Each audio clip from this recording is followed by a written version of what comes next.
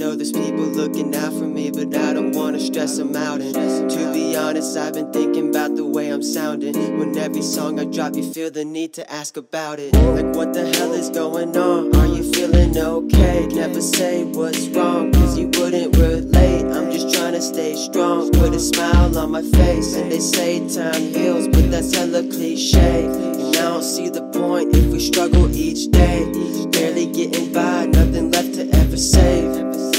I don't mean to sound negative, but it's a cold ass world that we live in.